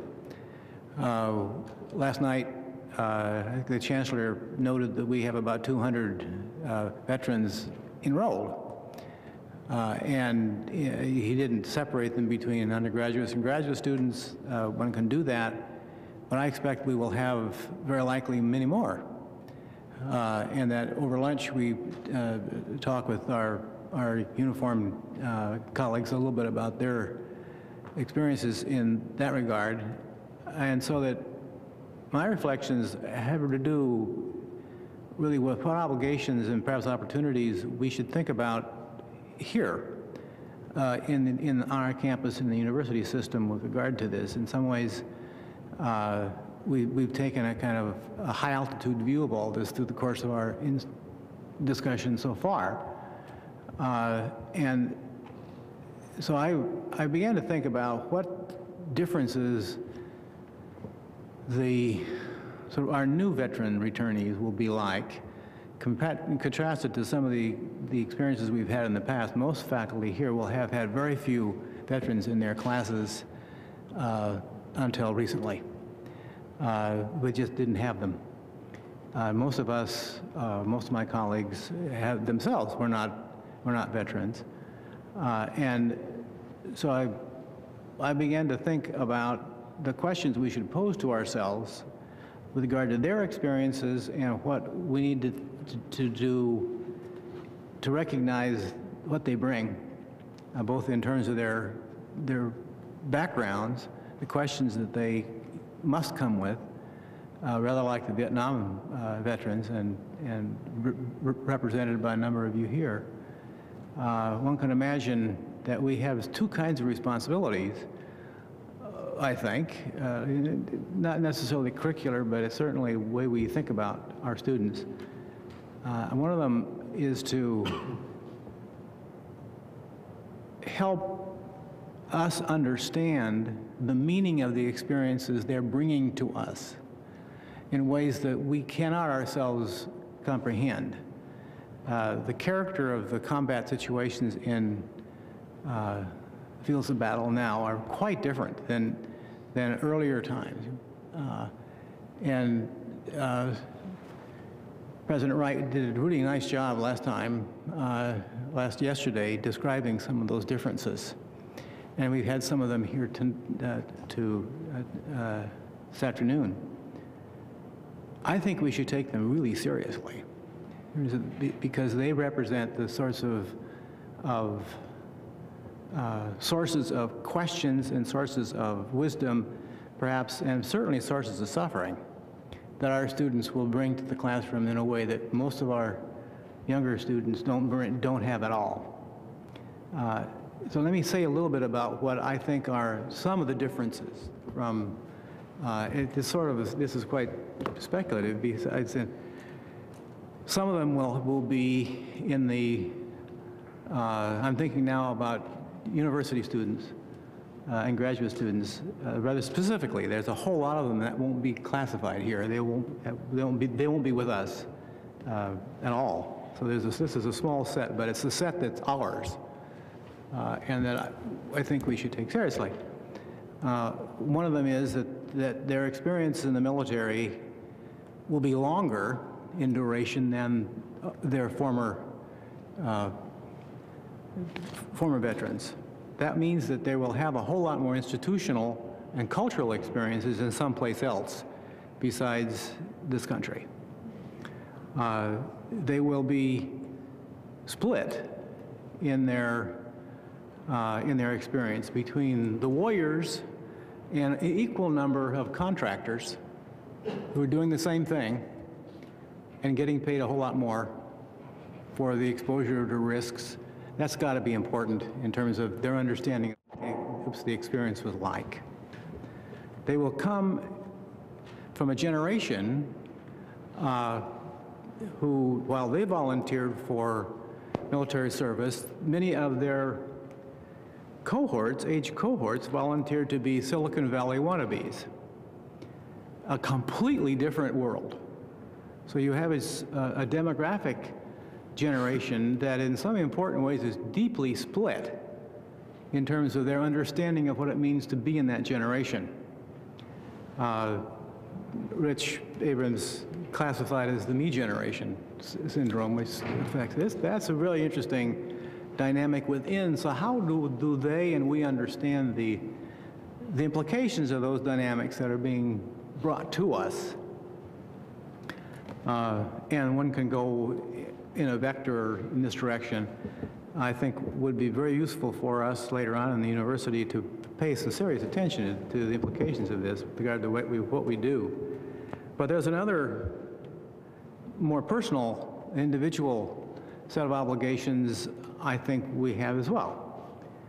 Uh, and that is we as faculty will have individuals in our in our seminars and our discussions and in our, our community who will bring with them a level of uh, experience that's really hard to talk about uh, in, as an aftermath of uh, President Wright's conversation. He will, will, for those of you who were able to listen to him, he has a set of stories or, uh, that are extraordinarily powerful that they aren't his stories. He's reporting them with regard to the stories of the young men and women that he's been able to visit uh, shortly after their return from being wounded in, in battle. Those stories need to be shared with the age peers of that same cohort. They need to know what it was like to be over there. And we don't have ways of telling them. And, and a question I put to him, he said something that really struck me. I had asked, Are, is anybody gathering these stories?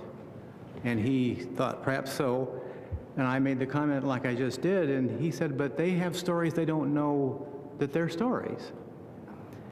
Well, if you bring conversation or experience into the classroom, with people who have stories, they don't know their stories, we have a kind of obligation to free them to tell them to us and to share them with their own age, age peers and with us about what it means to go to battle in the contemporary warfare situation. Most of us cannot imagine what that's like.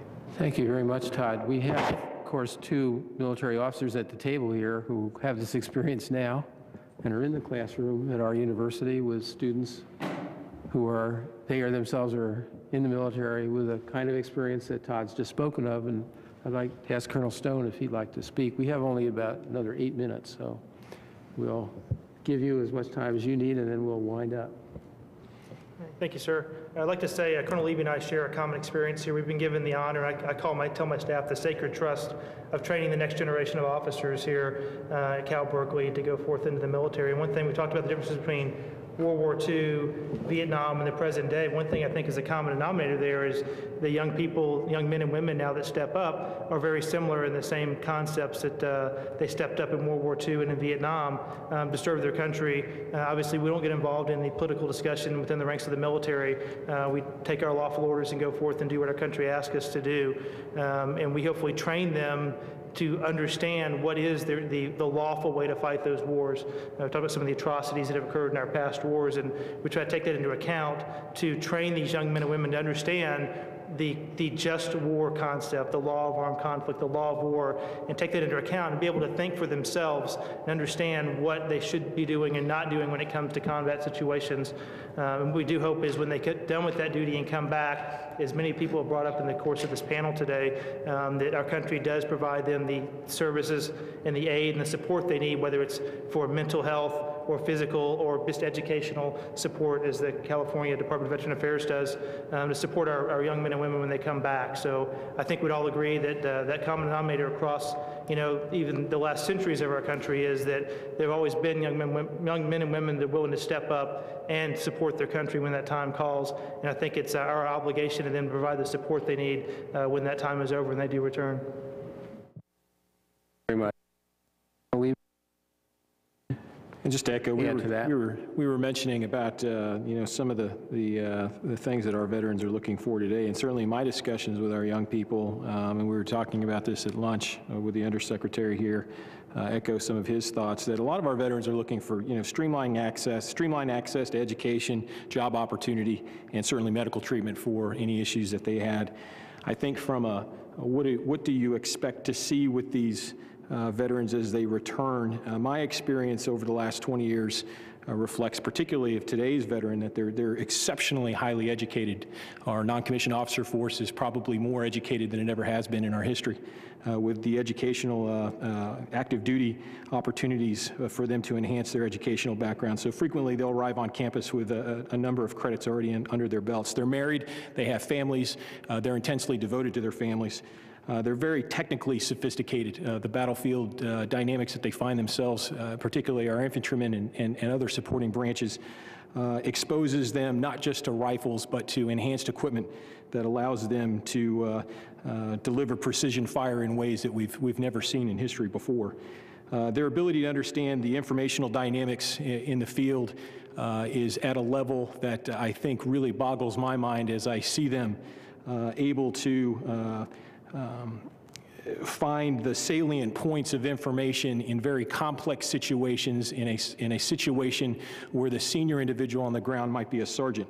Uh, the notion of the strategic corporal, uh, as the Marine Corps uh, Commandant said a few years ago, the three block war where on one corner you're handing out uh, MREs and you're doing a humanitarian mission, while two blocks over you're conducting combat operations the, uh, the dynamics of our soldiers today to differentiate those situations and the, the dynamics that we ask them uh, to negotiate their decisions, I think are as complex as they ever have been. The levels of responsibility as, as we have uh, placed fewer and fewer soldiers to uh, guard against uh, the challenges on larger areas creates tremendous responsibility at the private and the sergeant level. So your veterans now arrive with with uh, levels of responsibility I think that our civilian counterparts uh, look to and see tremendously talented young leaders at a very young age and tremendous maturity. Um, and they bring uh, enhanced level of cultural understanding, uh, language ability, um, that we've never seen before as well uh, back into the classrooms that uh, I think uh, will capitalize on, on the educational environment, not only for them, but for those around them. So uh, I think to, today's returning veteran is something that we should be uh, very excited about as they, they populate our classrooms at this campus and others. Well, thank you very much, Colonel. We're getting near the end of our time, and I think that it's important to, we even have a colleague running off to give a class, and I think it's really important to give President Wright little time here at the end to reflect on this, as we've tried to reflect on what you had to say yesterday. Thank you, Harry. It- It's it's been a a wonderful two hours. In fact, it's hard to believe that we've been here that long because it's- moved along so well, and and so many people have so many uh, terribly important uh, observations and insights into this. One of the things that that strikes me as we've talked about Vietnam, and it certainly has been woven through many of the comments today, is that uh, the the feelings and emotions, and I won't say divisions, of Vietnam uh, are still uh, quite powerful. Uh, people here uh, that, that went through that experience, uh, whether serving in the military or not, it's, it's still a very powerful part of their lives, and they still think very much about the divisions of that war and what, it, what it meant. And, and I do think, as we try to understand why it is we're treating veterans differently today, which Obviously, I'm pleased that we do. I wish we had treated the Vietnam veterans differently as well, but uh, we have less control over that. We can work with what we can do with the veterans today. And I do think that, that everyone, even those who still uh, are, are, are angry and, and uh, disappointed and embarrassed even about Vietnam and, and the, the, some of the reasons why we went into the war and even the way it was engaged, are saying we have to we have to try to reconcile with the veterans, and I do think that's a powerful factor in the way that people relate to veterans today. I haven't heard very many people uh, say anything about uh, veterans today that's negative, and then all the time I've been involved with this over the last nearly five years now, I, I can't say it on my uh, campus or other campuses I've ever had anyone criticize me for why are you doing this with veterans. They understand that even though they may uh, still carry hurts from Vietnam, indeed may, may still not even be fans of the military, but they understand that. So I think that that is a, a powerful thing. We've learned something from that.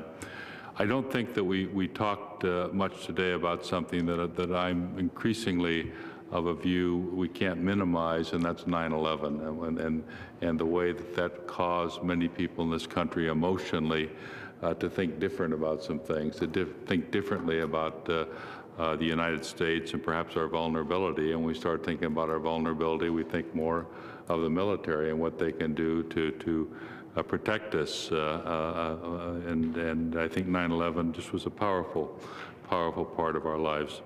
And, and I do think that there's a deference uh, to the military today, which, which is, is uh, very important. Uh, and uh, I, I join in that deference to the military, even though I, I acknowledge a little bit of nervousness about that, because I'm not sure that as you look at the principles of our society, that, that uh, we have to remember that it's civilians who make uh, the major calls. And I have been concerned in recent years, in some cases, where military officers have have sort of publicly challenged uh, uh, civilian leadership. Uh, and even when I've agreed with their challenges, I have to admit to some real unease about this. It's not the way that, that our, our system is, is supposed to work. And, and I worry as well about an abstraction almost of the military. As we're talking about the, uh, uh, the young men and women who are serving in Iraq and Afghanistan, as fewer and fewer of them are from the neighborhood or the, the boy next door, uh, we do abstract them a bit. And it's easier uh, perhaps to romanticize or to think well about things that are abstracted, but uh, I've had the, the wonderful and times emotionally difficult experience of moving from abstraction to having uh, these uh, servicemen and women be very real people with very real stories uh, to tell. And, and, and, there is a bit of a distancing. And, and I'm not sure that, that, that I, I share a view that it's, it's a mercenary force, uh, and uh, I'm not sure that restoring the draft would would deal with this. In fact, I'm quite sure it wouldn't. We don't need a military today of the size that a representative, uh, that, that, that, a truly representative draft would provide. We'd still end up with just a small fraction of the uh, draft-eligible young men and young women being drafted, and uh, there would be all sorts of deferments or, and other things that would come into play, I suspect, and I'm just not sure that I would uh, uh, be, be comfortable with some of the options and the way that that would play out. But I, I do worry about whether or not enough people truly understand who these uh, remarkable young men and women are because they, uh, we, we do abstract them. We, we look at a little bit on television, we, we salute them, and uh, then we move on with our daily lives without being affected one darn bit about what's happening there. We're not paying, most of us are not paying for these wars, either in terms of finances or our sons and daughters. Uh, we're not paying in any way for it.